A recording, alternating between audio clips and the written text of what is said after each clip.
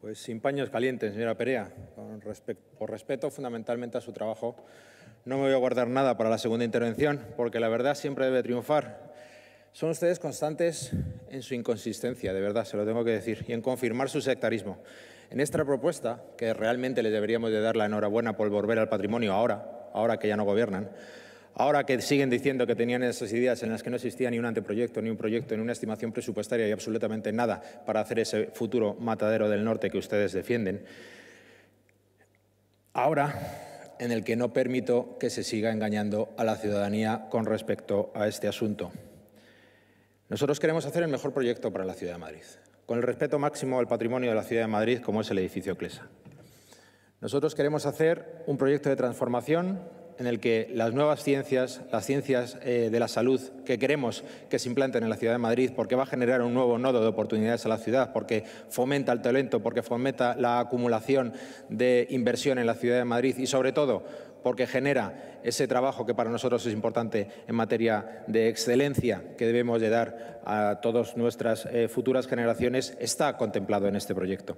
Con respecto a la declaración de bien de interés cultural del edificio de Clesa, creo que ustedes eh, desconocen la realidad del asunto porque es que deberían de saber ustedes que en el año 2014 el Colegio de Arquitectos, UPyD, incluso el propio Gobierno de Ana Botella solicitó a la Comunidad de Madrid la declaración de BIC de este edificio y a través de una resolución del 25 de marzo del 2014 se indicó que no carecía o que carecía fundamentalmente de los aspectos formales, estéticos y arquitectónicos para ser declarado BIC o BIP. Y así lo indicaron los servicios técnicos de la Dirección General de Patrimonio de la Comunidad de Madrid. Y por eso lo que sí también indicaban es que no se declaraba BIC, pero sí eh, eh, solicitaban al Ayuntamiento de Madrid que fuera incluido en el catálogo de edificios protegidos. Esto fue realizado a través de un expediente de modificación puntual de plan del año 2015 por el Gobierno de Ana Botella. Expediente que fue aprobado el 22 de mayo del 2015, en el que se protegían las dos naves principales, las oficinas adjuntas, el cuerpo de vestuarios y accesos con un nivel 3 grado parcial. Llegaron ustedes y no hicieron nada en cuatro años. Simplemente archivaron el expediente y a los cuatro años recuperaron el expediente, respetando la misma catalogación que se había hecho en el 2015. De ahí la incoherencia a la que antes me recibía. Nosotros mejoramos el expediente con respecto a ese expediente del 2019 porque no había por dónde cogerlo. Mejoramos los aprovechamientos, respetamos las edificabilidades y las mejoramos, sobre todo eliminando un aparcamiento subterráneo que no tenía ni pies ni cabeza. Le dotamos de 10.500 metros cuadrados de zonas verdes, conectamos a través de una pasarela con el Gregorio Marañón y mejoramos la accesibilidad de la estación de cercanías de Fuencarral. Y además compramos el edificio que fue comprado mediante escritura pública el pasado 11 de enero del 2021.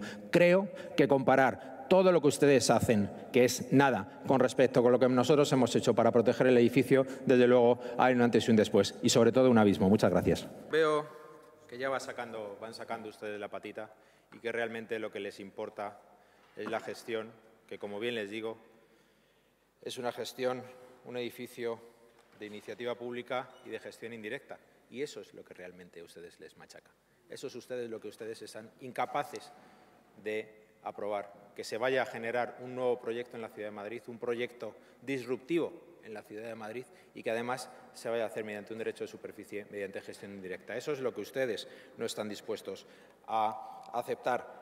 Les digo que hemos mejorado el proyecto, señor Calvo y señora Perea y señor Barredo. Por supuesto que lo mejoramos. Lo mejoramos incluso el 2015, porque le tengo que recordar que los planos que ustedes incorporaron en el proyecto del 2019 eran exactamente los mismos planos del Gobierno de Ana Botella. Es decir, ustedes no hicieron absolutamente nada. Los de protección del edificio. Ustedes no hicieron absolutamente nada. De hecho, nos encontramos el expediente completamente vacío y con unos errores eh, bastante importantes con respecto a la posible viabilidad sobre todo económica y viabilidad del propio proyecto para la ciudad de Madrid. Les tengo que decir también una cosa importante, porque ustedes siguen diciendo con el tema de Metro Bacesa, eh, y ahí es por donde iba dirigido mi tuit, señora Perea. Le vuelvo a repetir, mire, aquí tienen las escrituras de titularidad del edificio Clesa del Ayuntamiento de Madrid, realizada durante nuestro mandato, porque con su proyecto nunca se hubiese podido realizar, porque estaba completamente erróneo y nunca hubiese sido aprobado por la Comunidad de Madrid. Le tengo que decir que todos los eh, elementos de protección del edificio que ahora se encuentran constan con los elementos, con los informes favorables por parte de la Comisión de Patrimonio Local de la Comunidad de Madrid y, por supuesto, de la CPPAN de la Comunidad de Madrid. Y el Colegio de Arquitectos no estará tan eh, defraudado con el proyecto cuando nos acaba de pedir, por favor, que se instale una placa en el propio edificio en recuerdo al, arquitecto Alejandro de la Sota. Y también le tengo que decir una cosa importante. No sé si ustedes estuvieron, pero creo que la portavoz de Más Madrid sí que estuvo ayer en el, en el acto que se hizo de Madrid Diario con respecto a la celebración de su 20 aniversario, en el que hablaba de la salud del futuro. La salud del futuro, esto está completamente relacionado con el proyecto que queremos hacer de CLESA como nuevo centro y nodo científico para las ciencias de la salud, para la prevención de la salud y, sobre todo, para que genere talento y que genere expertise en la ciudad de Madrid y, sobre todo, que genere también, por supuesto que sí, empleo, oportunidades e inversión en la ciudad de Madrid. Miren, eh, ustedes siempre están con las ideas. Esta idea era mía, esta idea era mía, pero luego no hay ningún proyecto. Yo tenía un amigo cuando era pequeño en el colegio que me decía que su idea era que fuera novio de Claudia Schiffer, pero nunca lo desarrolló en un proyecto a posteriori. Eso es lo que están ustedes haciendo. No tienen proyecto absolutamente para nada y solo se apuntan ideas que en algún momento les valió para un titular. Así no se gobernaba la ciudad de Madrid y así nunca más se volverá a gobernar. Muchas gracias.